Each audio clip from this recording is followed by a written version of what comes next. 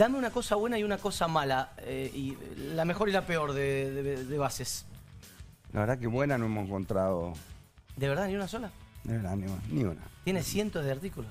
Y justamente creo que es el problema original de todo esto, haber armado una, un proyecto de ley tan amplio que abarca tantos temas Ujú. que ya de, de arrancada dificultó el tratamiento en comisiones, tuvo mucha ida y vuelta, se cayó en un momento, después bueno, lograron eh, sacar la media, la media sanción, pero de verdad que hemos estado estudiándolo mucho, hemos tenido muchísimas reuniones, digo, la misma Unión Industrial está diciendo que esto no es conveniente para las pequeñas y medianas empresas, para la metal mecánica, en el caso concreto de la provincia de Mendoza. Pero ahí eh, esto puede cambiar con el 20% del compre local que se le mete hoy, porque digamos, ahí empresas satélite pueden ser proveedoras de las puede, grandes. puede ser un tema ese, pero bueno, hay que ver qué es lo que queda finalmente en el Senado y, y ver qué es lo que vuelve a diputado. Ahí se va a tener que revisar de nuevo y tenemos dos opciones, ¿no? O aceptar lo que manda el Senado o insistir con la media sanción nuestra. Ahí veremos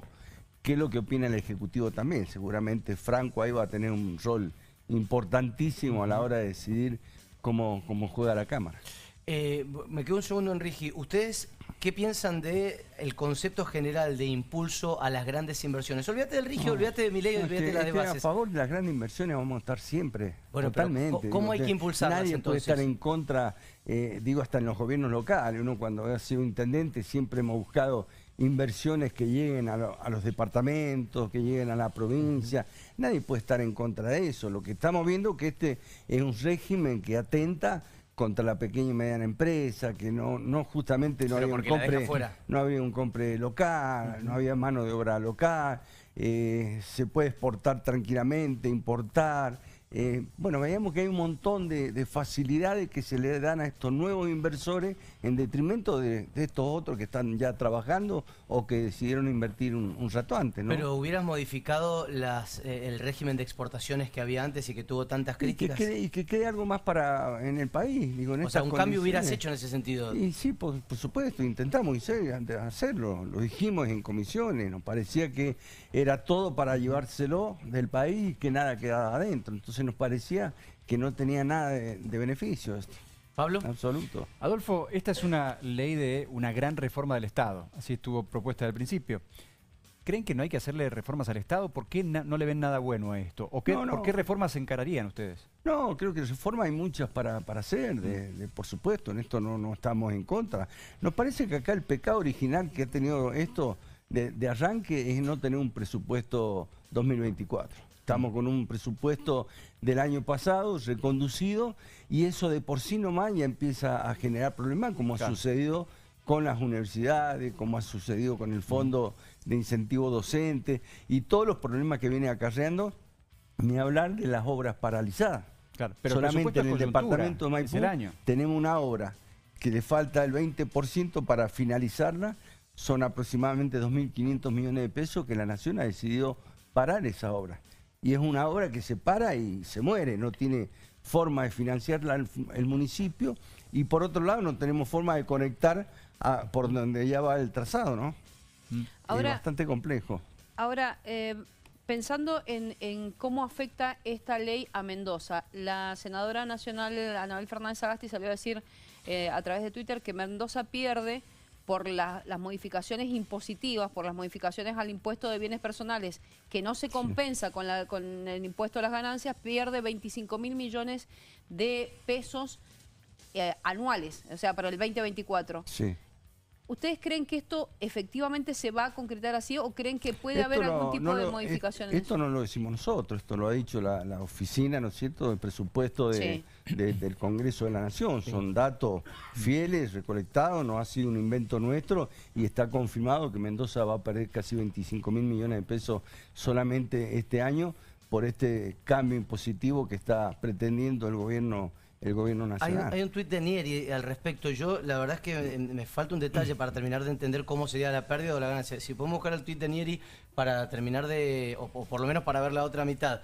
Eh, ha- hablemos un segundo de eso, de paquete fiscal. ¿Qué sí y qué no para ustedes? ¿Qué, qué, qué es lo que tiene que avanzar de lo que está proponiendo mi ley y qué es lo que no? Hay muchísimo para, para discutir, digo, pero, pero, pero la vuelta de ganancia sería indiscutible. Bajar bienes personales. Milei dijo cuando era diputado nacional que se cortaba un brazo antes de subir impuestos, ¿no? Totalmente, mi ley es un panqueque en ese sentido. Votó eh, en en contra, digamos, a favor de bajar el impuesto a la ganancia y hoy está proponiendo eh, subirlo nuevamente, imponerlo nuevamente. ¿No es cierto? Baja bienes personales, nos parece que eso es totalmente desproporcionado. Mira, ahí está el, el tuit de Nieri para que, para que avancemos sobre este tema, insisto, porque yo lo quiero entender bien, Agus, eh, bueno, Rosy y Pablo, para que... lo- Me parece que Sagasti está confundida o quiere confundir eh, más abajo. Con esta iniciativa, Mendoza tendrá mayor recaudación por blanqueo, moratoria y ganancias, según la Oficina de Presupuesto del Congreso, que la nombrábamos recién. Por ganancias, las provincias ganan 0,29% y por baja de bienes personales perderían el 0,2%, o sea, parecido. El resultado es positivo. Según estimaciones oficiales, podría recaudar un 0,6 para provincias por el blanqueo, moratoria y adelanto de bienes personales. Hablamos así de 170 mil millones de pesos para Mendoza. Bueno, lo otro ya es más político. ¿Se puede bajar al llano esto, el técnico? Sí, eh, no, no sé qué, qué opina usted, Adolfo. No, no, no comparto. Creo que es un- lo que él está haciendo, tratando de justificar su voto en diputado y el voto que seguramente van a tener los dos senadores radicales por, por Mendoza enseguida en el, en el Congreso. Lo que está tratando de hacer con esto es justificar esos votos que van a aparecer en, en un rato, pero nada de eso tiene eh, verdaderamente. ¿Y qué opina Adolfo validez. sobre, porque he escuchado mucho a varios legisladores que dicen, hay que acompañar al presidente aunque no estemos de acuerdo necesariamente con esta ley base porque es lo que los argentinos votaron. Este, hay No, que no, darle sí. a mi ley las herramientas para votar y para que pueda desarrollar el plan de que- gobierno que él pensó. Uno quisiera, en el fondo, a- hacer eso, evidentemente, dar herramientas, ayudar. Eh, hay muchos proyectos que hemos presentado en el Congreso de la Nación como herramientas también para el presidente, no es solamente esto. Esto es un, es un montón, un paquete de leyes que confunden absolutamente a, a todo el mundo. Lo que pasa que también estamos ante la presencia de un presidente que nos ha tratado de rata, que dice que el Estado es una secta terrori- terrorista, eh, Que lo va a ha dicho que, va, que se va a orinar en, lo- en los gobernadores. Viste, a- ante este trato del presidente, la verdad que, que cuesta mucho, ¿no? Cuando no quiere... Y aparte ya ha dicho, va a vetar absolutamente todo lo que no, lo que no le guste. Y- y- Estamos, digo, ante un Fujimori que en vez de poner el candado al Congreso, lo que está pretendiendo es quitarnos la llave del candado a, a los legisladores. ¿Y coincide con esto que tuitearon más temprano desde la oficina de la presidencia que el gobierno está sufriendo un intento de golpe de Estado? No, no entiendo esa parte. El, el presidente dice que le quisieron hacer un golpe de Estado. No, Sobre todo por los disturbios afuera del Congreso. no, no, para nada. Ahora, hablando de golpe de Estado, eh, ¿da a compararlo con Fujimori, con una persona antidemocrática? Porque Milei está haciendo todo por la vía institucional. ¿Qué hay de antidemocrático en todo lo que ha hecho Milei desde el 10 de diciembre hasta acá? Y darle la espalda al Congreso de la Nación. ¿Qué es darle la. Y, pues, el discurso de, de inicio de sesiones lo da de espalda al Congreso Pero de la eso no es Nación. un acto antidemocrático, Adolfo. No, no, es, no es- digo, es o sea, un gesto que te puede no gustar. A mí no sea- me gusta, pero no es un acto A mí lo que antidemocrático. me parece que, que actúa de esta manera, desconociendo al, al Congreso, ignorando a los legisladores, y, y va a hacer absolutamente todo lo contrario de lo que salga del Congreso, ya lo ha dicho. Va a vetar todo aquello que no esté de acuerdo. Bueno, está, en- está en sus. Está eh, en su derecho, como nosotros estamos en el derecho también de, De insistir. de, de insistir o, o no votar lo que Y con esta, Claro. con, con esto de que se, mm, de que ya no van a insistir con el tema de la reforma o de la moratoria previsional, o sea que se va a mantener la moratoria previsional tal cual la tenemos y que de hecho dura hasta el 2025. El proyecto que ustedes tenían de reforma previsional y de mejora de los saberes jubilatorios, ¿va a seguir en marcha?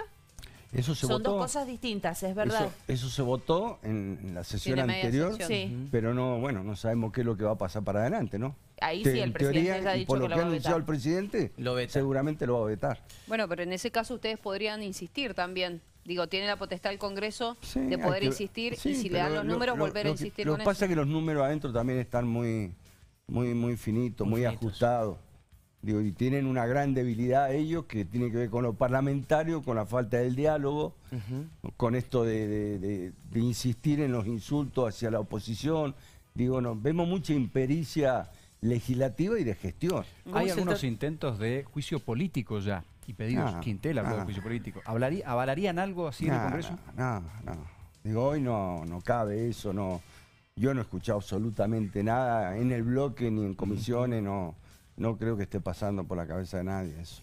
Adolfo, Aparte no queremos tampoco llegar a eso. Nosotros, en el fondo, lo que queremos es que le vaya, que le vaya bien. Y hemos, insisto en esto, hemos presentado proyectos de ley importantes como para. Pero digo, una, una ley base que, que está pensada para el futuro de la Argentina y que dentro de semejante mamotreto no aparezca la palabra educación o vivienda, ya nos está dando un, un sentido ¿no? de por dónde va la, la cosa. No le interesa la educación, no le interesa la vivienda.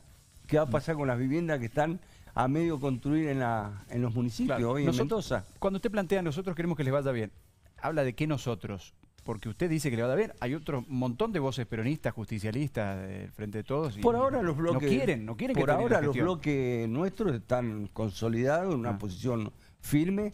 Lo hemos mo- demostrado en diputados y seguramente se va a reflejar enseguida en el Senado de la Nación y de esa postura, mientras se con este tipo de, de proyectos de ley, nosotros no vamos, no, eso no lo vamos a acompañar. Eh, Adolfo recién leía en su Twitter que eh, repudiaba la, la acción policial, la represión. La verdad es que no, puedo dar fe de que no hayan existido excesos, pero ¿ha- ¿hay un repudio también de su parte a la actitud violenta de tanta gente? No, sí, por supuesto. No, yo todo lo que sea violencia y que sea Porque es terrible este lo que tipo hemos de visto hoy. atentado, por supuesto que no lo comparto para nada. Pero hay muchos vinculados con su- con su partido, también he visto en todo este tiempo eh, una desproporción muy grande de efectivos policiales eh, para la cantidad de gente que va a manifestarse.